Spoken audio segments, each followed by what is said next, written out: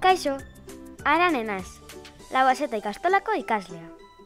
Ezagutu nahi aldozu nolakoa den nire ikastola? Autobusean etortzen hasi nintzen, nire laguntxoekin. Ikasle nagusiago batek laguntzen ninduen gela da. Eta oraindik gogoratzen naz, zelan posten nintzen eltzerakoan irakasleak egiten ziranan harrera. Beragaz, negarra, barre bihurtzen zan. Beste batzuk, lehenago etortzen ziren gurasoekaz, eta bertan gozaltzen eben goxo-goxo. Gelan, hainbat gauza egiteko aukera geunken. Bolen piztinean divertitu. Liburutegian, mundu berriak deskubritu.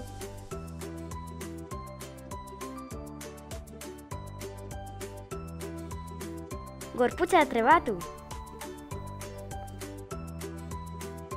Hizkuntza ezberdinetan abestu. Nire andereño maiteagaz gauza barriak ikasi. Eta batez ere, jolastu. Jan, eta lola zai egin. Ez dago txarto, ez da? Nagusiagoa egin ala, iru, lau eta bost urteko geletan hainbat gauza ikasi nebazan. Eta danak modu divertigarrian. Irakurtzen eta idazten, iaia infinitora arte zenbatzen, filosofoek bezala ondo pentsatzen, zientzialariak bezala ikertzen, naturarekin bat egiten, artistak bezala sortzailea izaten, zentsumenak garatzen. Orain, lehen eskuntzan nago, eta batzuetan ni neu beldurtzen naz ikasten dudan guztiagaz. Gainera, modu eta erritmo desberdinetan ikasten dugu gauzak. Teknologia gaz, jolasen bidez, irakasleen laguntzaz, lagunekaz, entrenatuz eta esperimentatuz bakarrik ikasten ere ikasten du. Gehien gustatzen jatana, proiektuen bidez ikastea da. Irrati saioak, urriko azkena asteleneko asoka, arkitektuen proiektua,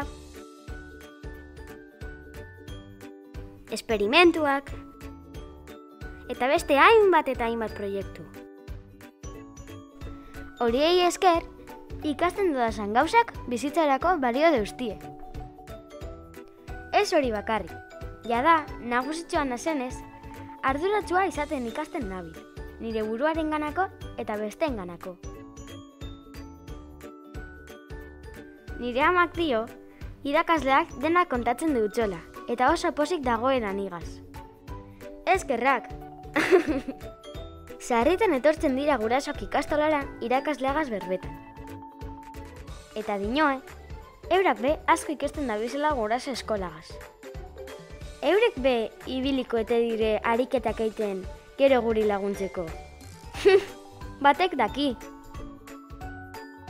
Ikastola amaitzen danean be, gauza gehiago ikasteko aukera daukat eskola eskanpoko ekintzetan.